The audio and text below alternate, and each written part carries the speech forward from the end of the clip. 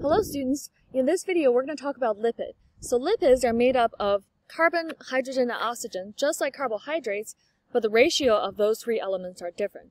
And how those three elements are bonded are also different. So the main components of lipids are glycerol and fatty acids. So each lipid is made up of usually a glycerol, which is its own unit, and three fatty acids sometimes. They can all bond together and form one lipid. So this is called a fatty acid tail. But sometimes you can also have just one little head, uh, not even a, gl a, glycerol, but then was also a phosphate group with two fatty acids. So sometimes lipids can have a phosphorus element in it, but it's not always there. Lastly, we have another type of lipid that is a steroid. So what you see over here, three examples of lipid. We have triglycerols or triglyceride, uh, they're made up of three fatty acid tails and one glycerol. Okay, this is what makes up a fat or oil. On the right side, we have butter and olive oil. In the middle, we have something called phospholipid. So this is what makes up of the phospholipid bilayer of the cell membrane. So it's the com main component of the cell membrane. It is made up of a glycerol, phosphate, and two fatty acids. The really special thing about a phospholipid is that the head part because it has a phosphorus, it has a negative charge, right? So it's is polar or it's actually charged. So we we say that is hydrophilic. Those are hydrophilic heads. And then we have the hydrophobic tails because the long hydrocarbon fatty acids are nonpolar. And then we have steroids. So the steroids uh, can be find, found at all different kinds of places, and we'll talk about that a little bit as well. But one place that you can find it, again, is, is the cell membrane. But it, steroids can also be hormones. You probably heard about people using steroids, right? Steroid hormone. So moving on, this picture shows you again, we have glycerol right here. Each glycerol has an OH group uh, on it attached, and then the fatty acid all have an OH group as well. So in order for you to go from glycerol and fatty acids to a triglyceride molecule, kind of a macromolecule, a little bit bigger of a molecule, then you want to go through this condensation reaction or um, the dehydration reaction where waters are being released. So over here, three waters are being released in order to form this triglyceride. This, these bonds that are formed in between the glycerol and the fatty acids are also covalent bonds. So fatty acids are the fatty acid tails, right? So on the last page, these three things over here are all fatty acids. So fatty acids have they're all hydrophobic because they're hydrocarbons and the carbon and hydrogen's electronegativity are pretty similar, so they share the electrons pretty equally. But there's a difference between a saturated fatty acid and an unsaturated fatty acid.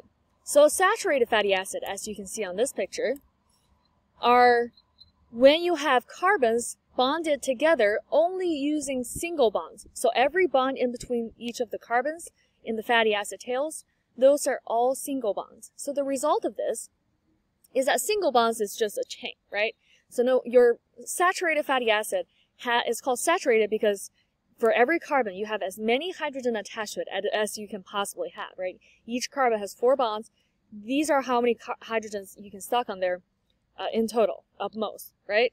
So another thing about a, a saturated fatty acid is because it's a straight chain, which means they can be packed tightly together, right? So if you think about a straight line, another straight line, another straight line, they can all be packed very tightly because they're all straight lines, right?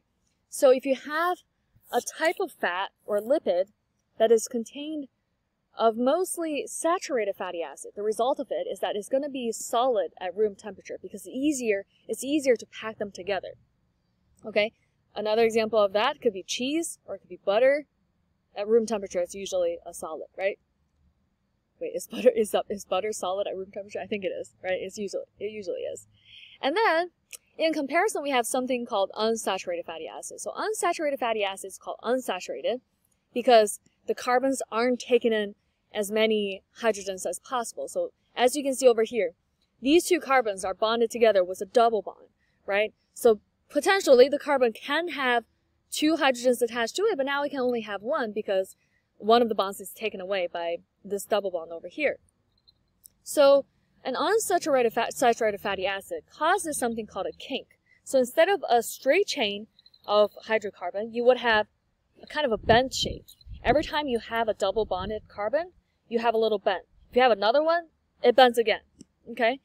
So the result of this is that because of these bending, right, if you think about two bending lines, you can't pack them as tightly because they're kind of kicking each other, right? You've had people with their arms all uh, extended, they can't get very close um, to each other. So that's kind of like heart, the un- unsaturated fatty acid.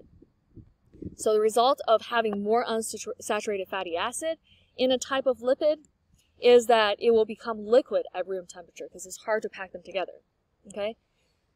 So here's the thing. When you think about cells, cells exist at all different kinds of temperatures, right? We have cells, we have animals living in really hot temperature. We have animals living in really cold temperature. We have plants living in all kinds of temperature as well. So there's something that we need to consider is called membrane fluidity.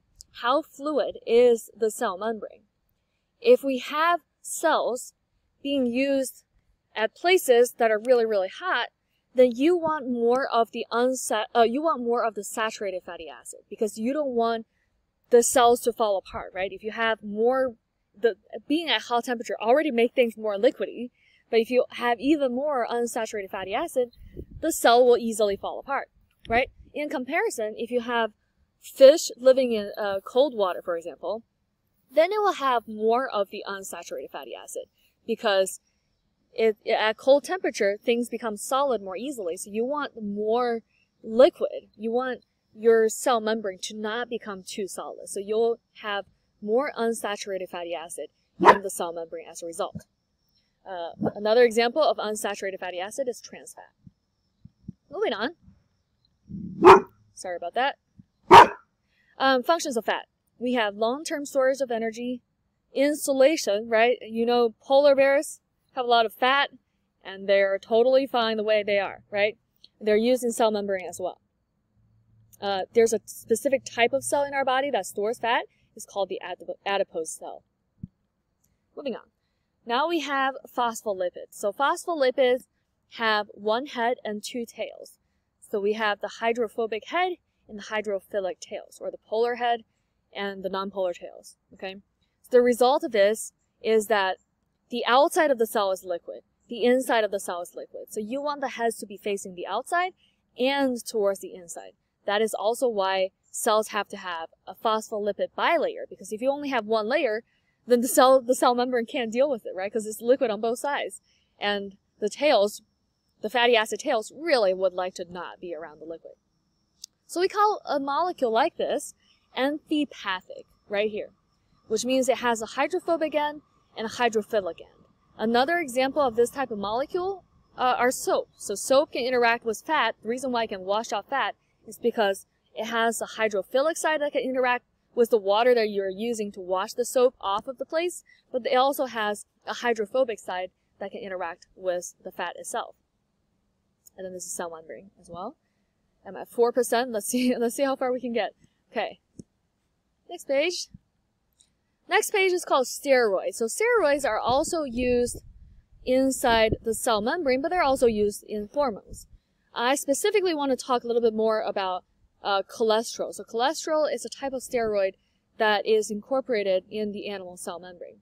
And this is really good because the steroids are kind of like this little picture over here. It's like, no, don't leave me. So what I'm saying is that uh, cholesterol holds the cell membrane together when it's falling apart. Okay, so for example, if we have uh, the cell being in a hotter temperature than normal, the cell membrane will fall apart more easily, right? But you don't want your cell membrane to fall apart. That ruins everything. So what do you do?